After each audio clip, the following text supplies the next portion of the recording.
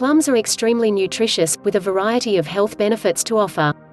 They contain many vitamins and minerals, in addition to fiber and antioxidants that may help reduce your risk of several chronic diseases. You can consume plums fresh or dried. Dried plums, or prunes, are known for improving several health conditions, including constipation and osteoporosis. 1. They contain many nutrients. Plums and prunes are impressively high in nutrients. They contain over 15 different vitamins and minerals, in addition to fiber and antioxidants. 2. Constipation. Prunes and prune juice are well known for their ability to relieve constipation.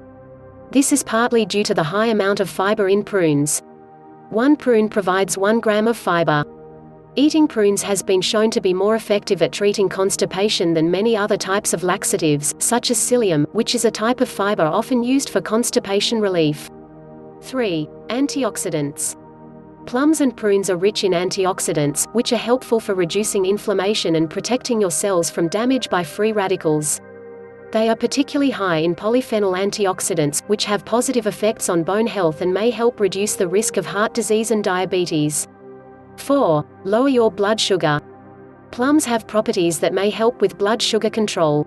Despite being fairly high in carbs, plums and prunes do not appear to cause a substantial rise in blood sugar levels after they're eaten. Additionally, the fiber in plums may be partly responsible for their effects on blood sugar. Fiber slows the rate at which your body absorbs carbs after a meal, causing blood sugar to rise gradually.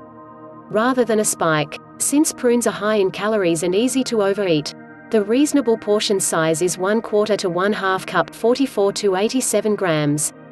5. Heart health. Consuming plums and prunes on a regular basis may have a protective effect on heart health. They have been studied for their potential to reduce high blood pressure and cholesterol levels, which are major risk factors for heart disease.